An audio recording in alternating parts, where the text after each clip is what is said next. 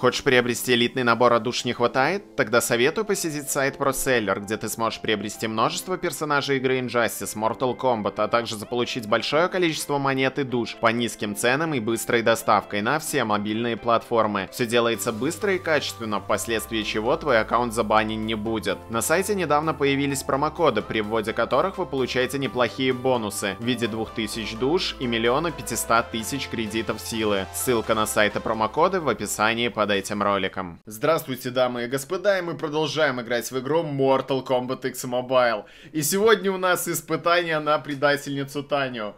Блин, по какой-то причине это испытание не выходило целых три дня. Ну, потому что остается 3 дня 15 часов, и, насколько я помню, испытание длится около 5-6 дней. Я уже, честно говоря, и забыл, сколько они длятся, потому что ну, в последнее время с игрой происходит что-то не то. Испытания не выходят, либо выходят, но спустя какое-то время. И это все творится на андроиде. Например, на iOS таких проблем нету. И поэтому сегодня мы только и пройдем это испытание. И я надеюсь, что мы пройдем его без особых проблем. Потому что я подобрал отряды довольно интересные. И в то же время они очень сильно прокачанные. Поэтому проблем как таковых, мне кажется, не будет. Но зато мы получим душ. И уже в следующем ролике я снова открою пакет пакеты, где выбью молот гнева и достану наконец-таки алмазную карту. Я раскрыл секрет. На самом деле алмазка выпадает после того, когда молот гнева за, в паке за 70 тысяч монет выпадет последней карточкой. Именно так. На самом деле это опять же я рофлю, но возможно это правда. Возможно это правда и на самом деле здесь есть какой-то секрет. Это как GTA разгадывать всякие тайны легенды и так далее. То же самое в игре Mortal Kombat X Mobile. Что ж, переходим сейчас в 13 бой. Здесь нас ожидает такой отряд, как Джейд Ассасин, Китана День Мертвых и Джеки Брикс Хайтек. Джейд Ассасин в целом вышла недавно, и поэтому, в принципе, поиграть ей много я бы так и так не смог. Потому что, блин, сам по себе персонаж у меня не прокачанный, а не прокачанными персонажами как-то играть не очень интересно. Но в то же время я Джейд особо-то и не использовал в военных фракции, хотя в последнее время каждый второй использует эту Джейд в военных фракции, потому что у нее довольно прикольная пассивная способность, что мне в ней и нравится, как и многим, наверное. Китана День Мертвых, она будет спасать Джейд Ассасин, но это Джеки Хайтек, она просто требуется в этой команде, поэтому я ее и поставил.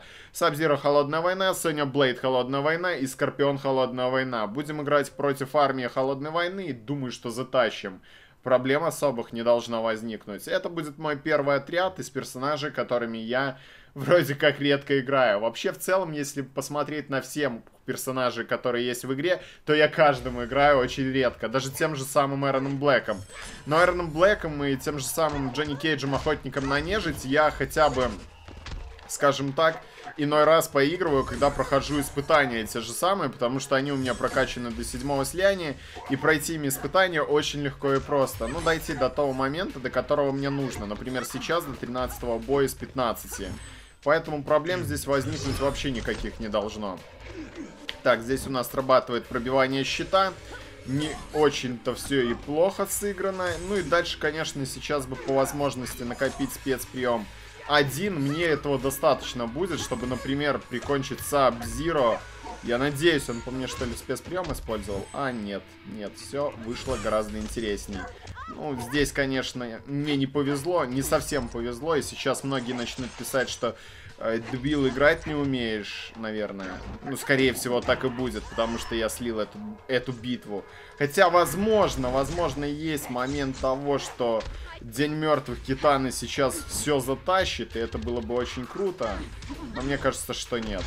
На самом деле такого не произойдет, мы просто сейчас сольемся. Так, хорошо. Выбираем следующего персонажа. Китана, я верю в тебя. Блок, неплохо. Так, ну и сейчас бы накопить спецприем 2. Потому что я не хочу сейчас выходить с каким-то другим персонажем. Плюс здесь, скорее всего, восстанавливаться персы не будут. Тише ты, тише. Увлеклась немножко. Так, давай, стреляем в него. Возможно, ты отключишь ему спецприемы какие-нибудь. Ну, истощение силы тоже неплохо.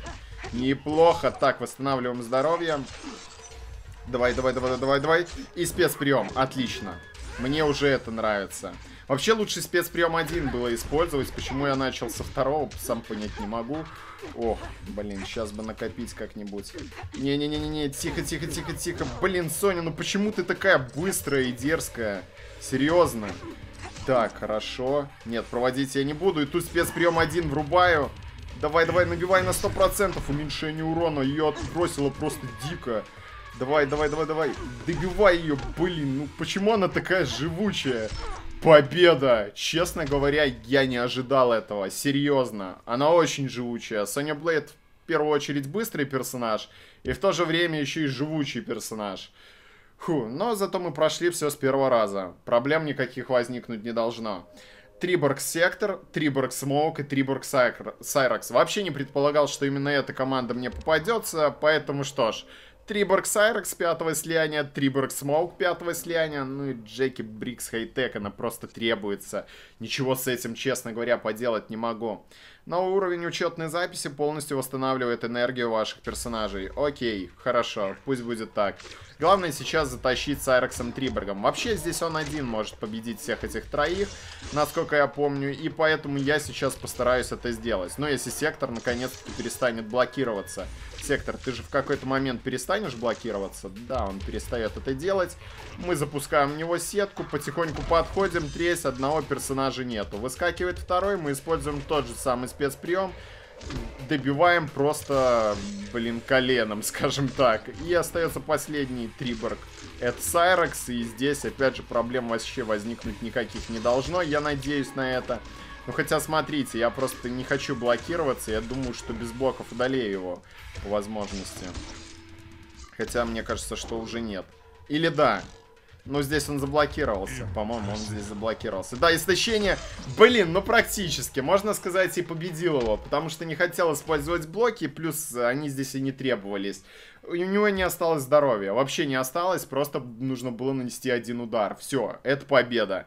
И третий отряд, это Кенши Старший Бог, Баланс Кенши и Джеки Брикс Хайтек снова.